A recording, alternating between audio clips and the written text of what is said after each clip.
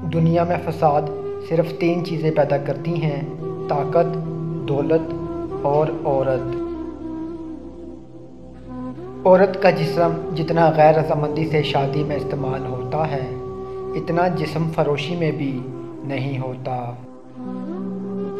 एतबार वो वाहिद ट्राफ़ी है, जिसे जीत कर लोग तोड़ देते हैं। बहुत ज़्यादा मैसर होगे तो इज़्ज़त और अहमियत दोनों ही खो दोगे। मुनासिब फासलों में ही इज़्ज़त है। औरत को राज़ी करना है तो पहले उसकी प्यास बुझाओ। औरत की प्यास तीन चीज़ों से बुझती है, दौलत, शहरत और इज़्ज़त से।